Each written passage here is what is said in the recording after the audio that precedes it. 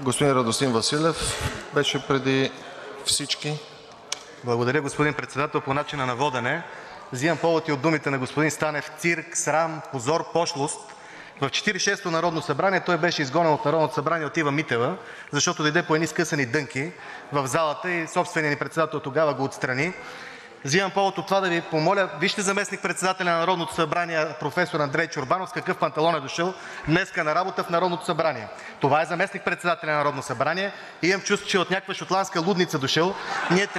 Ние трябва, да правим модна полиция ли в това събрание или имат еднакъв дизайнер с Любен Дилов син, те така се обличат един като друг. Не го допускайте до, трибуната, защото ще накарам камерите да го снимат. Вижте го с какъв панталон е. Това отговаря ли на заместник-председател на Народното събрание? Благодаря.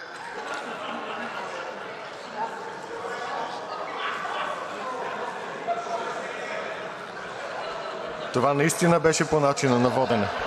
Господин Чорбанов, лично обяснение, заповядайте. Елате, елате на...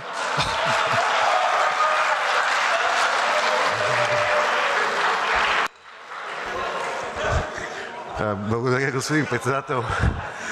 Ще трябва да кажа, че пелящошената винаги е функция на поведението и на ментална функция, а не на дрехите, защото панталона може да се смени, но има неща, които няма как да бъдат сменени. Генетиката е това, което остава за цял живот.